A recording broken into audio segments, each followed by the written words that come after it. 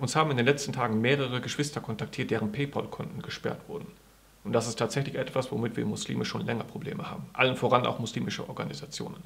Und PayPal greift auch gerne mal rigoros durch. Das heißt, wenn Sie ein verdächtiges Problem bei einem bemerken, sperren Sie sofort den Freundesteil und die Verwandtschaft mit. Was kann man dagegen tun? Das ist nicht ganz so einfach, denn PayPal unterliegt grundsätzlich dem amerikanischen Bankenrecht. Manchmal geht das aber. Vor allen Dingen dann, wenn der Verdacht aufkommt, es geht um Diskriminierung. Das lässt sich jetzt schlecht abschätzen, weil wir noch gar nicht genau wissen, wie viele davon betroffen sind. Wenn aber Hunderte oder Tausende Muslime zum gleichen Zeitpunkt davon betroffen sind, dann könnte es durchaus sein, dass man etwas unternehmen kann. Wir wollen morgen mit einem Anwalt sprechen und wir werden alle rechtlichen Möglichkeiten ausschöpfen. Zu diesem Zweck bitten wir euch, dass ihr uns per E-Mail kontaktiert. Schreibt dazu euren vollständigen Namen, eure PayPal-Adresse, das Datum, wann euer Konto gesperrt wurde und vielleicht noch zusätzliche Informationen, äh, was genau passiert ist, von wem ihr Geld bekommen habt oder wem ihr was überwiesen habt, wenn das interessant sein könnte.